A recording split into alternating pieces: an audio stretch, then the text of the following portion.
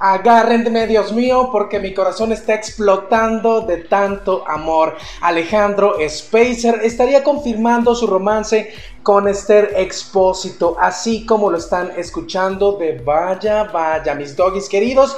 Ustedes saben muy bien que ellos eh, próximamente participarán en la, en la miniserie de Manolo Caro, Alguien tiene que morir, que constará de tres episodios, una historia ambientada en España en 1950 y que tocará temas de homofobia, las familias conservadoras, etc. ¡Wow! Que nos sorprende Alex, Alex Spacer en su Instagram con una fotografía junto a Esther Expósito. Miren, juntitos románticos y que pone el siguiente post. Y es que te echo de menos. ¡Ay, ay, ay! Por supuesto. ¿Quién creen que le contestó? Esther Expósito hace unos minutitos le pone Ay, corazones rotos menos uno. Así la pareja se está extrañando en este momento.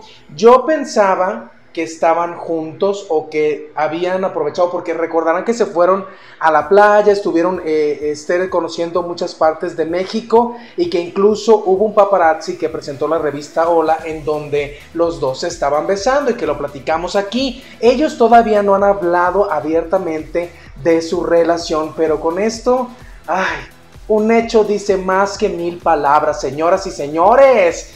¡Wow! Qué, ¡Qué pareja! ¡Qué pareja! De verdad me dejaron de vaya, vaya. Y que también me dejan de vaya, vaya. Porque ustedes recordarán que, que la Academia Cuarta Generación que se transmitió en el 2005 ha sido una de las academias más polémicas. Es en donde, pues por supuesto, salió Yuridia, el ganador fue Erasmo, eh, estuvo, eh, por supuesto, este fenómeno viral de Yolette, y entre las jueces estaba Lolita Cortés e Ilse, que se daban unos agarrones, mis doggies queridos, que bueno, era de guau, guau, guau, guau, guau, pero Ilse, miren, ella se quedaba calladita eh, y Lolita Cortés después confirmó que ella estaba siguiendo instrucciones de atacar a Ilse para dar contenido. Así la cosa, pues qué contenido tan sabroso se dio. Y ella, Lolita Cortés, estaba muy apenada con Ilse porque pues decía es que yo seguía instrucciones, me encantaría eh, pues, poder platicar con Ilse ya abiertamente. ¿Y qué creen? Que Alejandra Ley tuvo un en vivo con Ilse y ella contó si tiene todavía eh, pues este mal sabor de, boca con Lolita Cortés, después de todo este dime y direte, de estos agarrones que de pronto protagonizaron en esta cuarta generación. Con Lola sí no la puedes ver de plano o no? No, no, no, no, sí. Sí, no, sí, Lola también fue víctima, porque a Lola le dicen que ella haga esto y Lola no cuestionó. Yo no lo entendía, porque yo las conocía a las dos y yo decía, se llevarían muy bien. no, no, no, y no, y nos, bueno, yo no tengo absolutamente ningún problema con Lola. Y Lola también luego diciendo en algún, en algún programa que yo no sabía de, de este complot, pero por supuesto que yo sabía, pero pues por supuesto de que cómo, ¿a quién le dices? ¿No? Es que miren, este, el productor, este, o sea, ¿a, ¿a quién le dices qué? ¿No? Y luego la gente que decía, Ilse, ¿cómo te prestas para esto? Y yo, señores, o sea, acuérdense que yo también vivo de esto y pues yo me presté, pero porque pensé que era otra cosa. ¿Y por qué no me salí? Por orgullosa.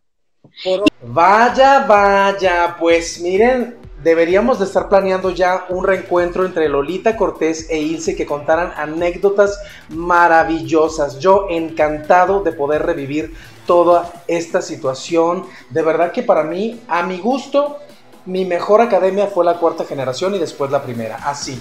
Aunque se me vengan encima, no me importa. Yo la disfruté tanto, de verdad que tanto, tanto, tanto. Oigan, así como ustedes están poniendo un ojo al gato y otro al garabato con todo lo que está pasando con Juquilo, pero déjenme decirles que dentro de toda esta polémica de Juan de Dios Pantoja y Lisbeth Rodríguez, sí, por supuesto que la más afectada ha sido Kimberly Loaiza, pero también la más ganona en seguidores. De verdad que toda esta polémica se le, le ha traído una gran cantidad de seguidores y en unos minutitos, horas, segundos, bueno, ya casi, Kimberly Loaiza llegará a 14 millones de seguidores en esta plataforma de TikTok. Así es, y yo les he, dicho mucho a los haters, ya descubrieron cuál es el, el secreto que tiene Kimberly Loaiza para tener tantos seguidores y hacer tanto match con su público. Miren, yo nada más así les voy a, eh, les voy a decir lo que observo de Kimberly Loaiza. En primer lugar, es una chica que no se engancha con las polémicas, que cuando habla habla en su momento y se acabó. Ella se hace su sana distancia en sus momentos de las redes sociales y aparece cuando tiene que aparecer para dar a conocer una buena noticia o alguna noticia que eh, favorezca también a sus seguidores para alguna dinámica.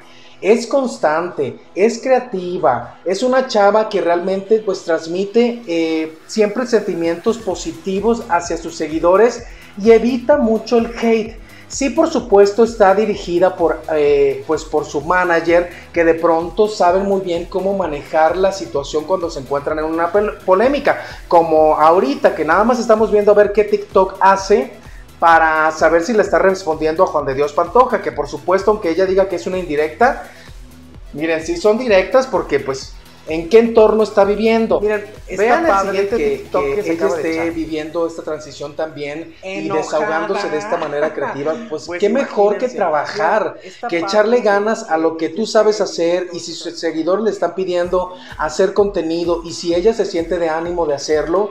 Pues qué bueno, porque recuerden que tiene una niña y tiene que transmitirle siempre muy buena vibra, porque los niños, miren, absorben todo. 14 millones de seguidores en TikTok. Wow, Kimberly Loaiza, muchas felicidades. Oigan, mis doggies queridos, hay más noticias y rebambaramba aquí, por eso llegó el momento de las Wow News. Asegura la revista TV Notas que Azteca tiene la orden por contrato de arrancar grabaciones de La Voz, no importando que estemos en fase 3. Luis Caballero, el Potro, se estrena como conductor invitado del programa hoy. Esto será después de que culminara su participación en el matutino Tu Casa TV. Talía lamenta la muerte de uno de sus grandes seguidores. Juan Carlos Pastrana ha perdido la batalla contra el COVID-19. Solamente tenía 36 años. Gran parte de su vida la compartió conmigo, con mis ilusiones y mis sueños y mis proyectos. Siempre estuvo ahí apoyándome, siempre fue parte de la Tali familia. Frida Sofía reveló que cuando tenía 5 años su mamá Alejandra Guzmán fumaba marihuana y le echaba el humo en la cara.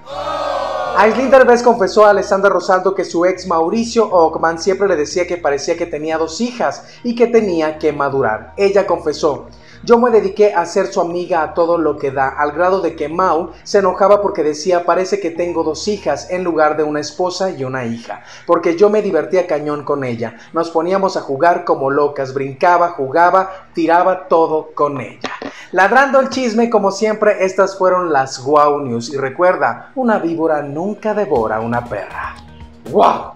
Mis doggies queridos, lo prometido es deuda. Estaré en mis redes sociales mandándoles saludos a los que siguieron mi dinámica en el video pasado, pusieron su nombre en mi comentario fijo. Atento, que ahí publicaré los saludos de Vaya Vaya. Besotes.